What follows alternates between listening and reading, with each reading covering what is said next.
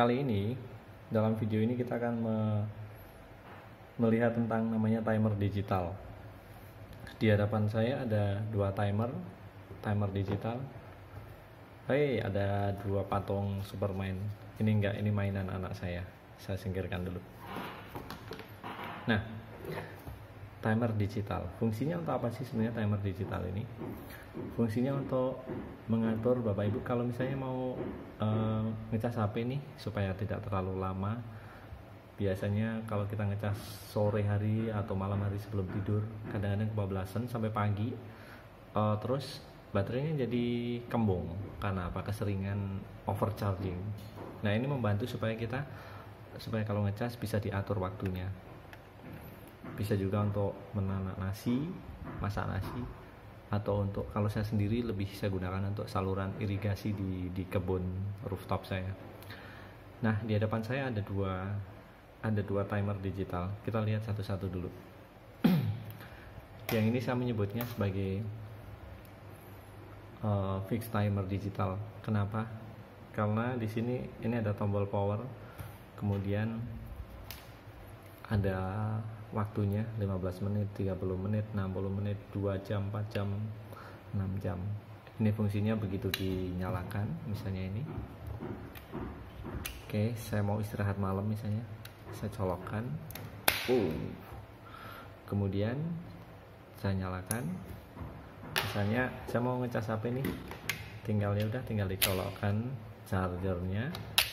Bentar chargernya dicolokkan ini ke HP nah saya perlu mengecas misalnya dua jam.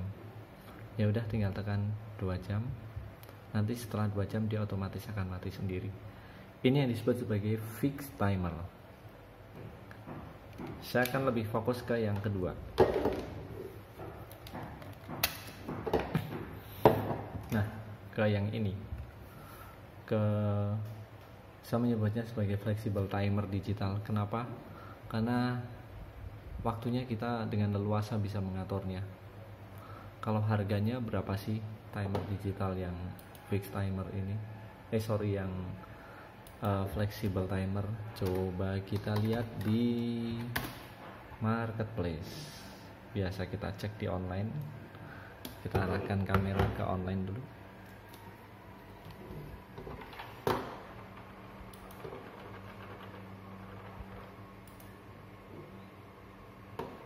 Yap, bisa dilihat harga rata-rata di kisaran 70.000, 90.000, 100.000. Ya tidak terlalu lumayan lah. Ada yang bilang mahal, ada yang enggak tergantung keperluan kita masing-masing.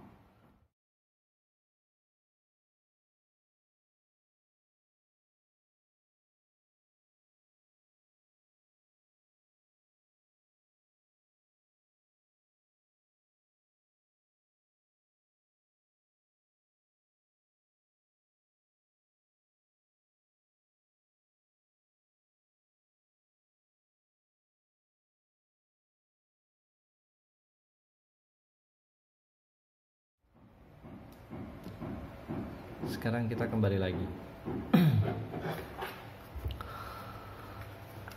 saya memilih ini yang merek Kaiser karena kebetulan di online saya mendapatkan ini harga sekitar 75.000. Nah, bagaimana cara menggunakan alat ini? Uh, yang pertama adalah gunakan uh, ballpoint tusuk apa namanya ujung ballpoint ini atau tusuk gigi untuk meriset alat ini. Jadi fungsinya di reset itu apa? Supaya program yang ada di dalam timer digital itu kembali ke normal. Ini untuk reset. Oh ya, di sini juga ada tombol recall. Ini untuk melihat kembali uh, timer yang sudah kita setting. Kemudian di sini ada tombol week. Silahkan dilihat. Nah ini ada tombol week. Ada jam, hours, ada minute. Kemudian ada clock untuk melihat waktu ada program nanti kita akan menyetingnya di sini. Sekarang kita coba pelan-pelan dulu. Nah, kita akan melakukan riset dulu. Yang pertama riset. Kemudian dilepas.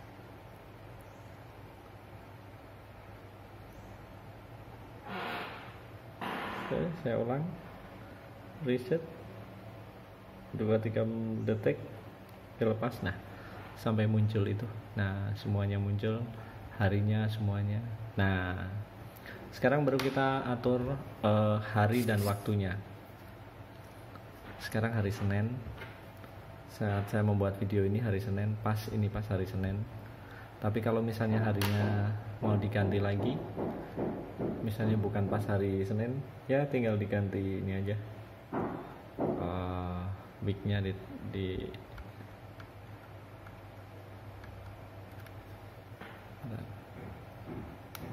tekan clock kemudian week.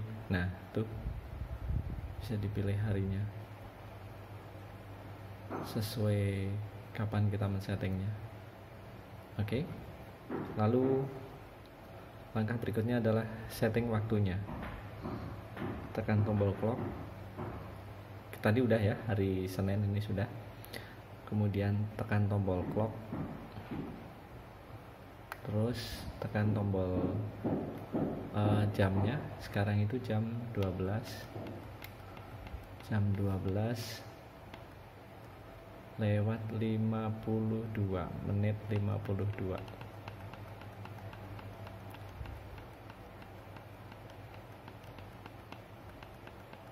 52 banyak sekali nih 52 53 pas. Oke. Okay. oke. Okay. uh, eh, waktunya sudah tersetting dengan baik. Sekarang uh, kita lihat ini. Udah ya? Nah sekarang bagaimana men-setting uh, supaya kita bisa memanfaatkan timer ini bisa kita gunakan untuk sampai 20 kali settingan. Jadi kita bisa men-setting uh, 20 kali settingan dalam 24 jam. Tetapi perlu diingat misalnya kita mau setting pertama uh, setting pertama on itu jam misalnya jam 5 sore sorry jam 5 pagi kemudian oh, settingan pertama off nya jam 12 siang. Settingan kedua on jam 17.00 kemudian nanti akan off misalnya kita akan setting jam 21.00 settingan ketiga misalnya on.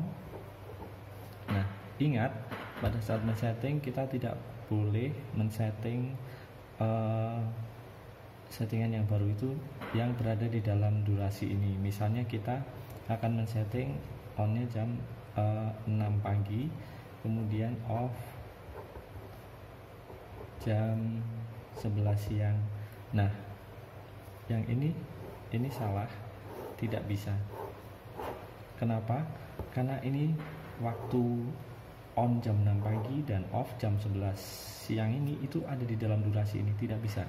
Jadi kita harus menggunakan misalnya on jam uh, jam 13 bisa jam 13.00 off jam 14.00 perlu diingat setiap settingan baru tidak boleh yang berada di dalam settingan yang sudah ditentukan. Begitu dan seterusnya sampai dengan uh, ini bisa sampai 20 kali settingan. Nah bagaimana kita coba untuk melihat untuk trial ya? Untuk tes tadi kita coba ambil lagi. 11.58 sampai saya akan coba buat jam 12 12 lewat 2 menit coba ya.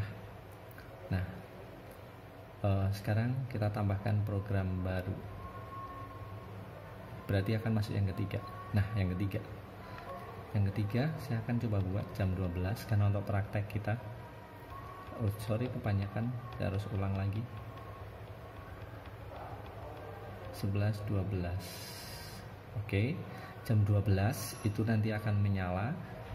Kemudian jam 12 jam 12 lewat satu menit dua menit akan off.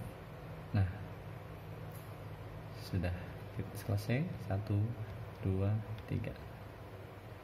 Tiga.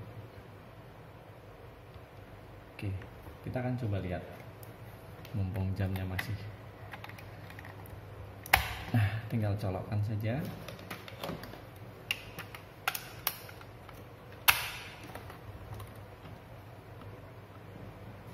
Nah. Saya akan pakai ini deh blackberry untuk mengecasin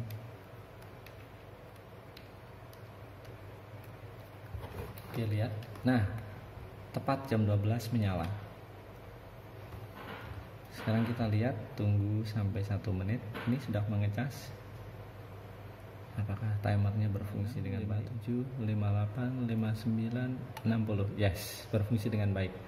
Ternyata tadi saya settingnya 2 menit jadi jam 12 sampai jam 12.02 baik itu kira-kira cara men-settingnya uh, tentang timer ini. Semoga berfungsi uh, bisa berguna untuk para pemirsa sekalian uh, sangat mudah dan sangat membantu nanti berikutnya saya akan mencoba akan sharingkan akan ceritakan lagi bagaimana bisa digunakan untuk di kebun di rumah untuk keperluan rumah tangga yang lain. Terima kasih.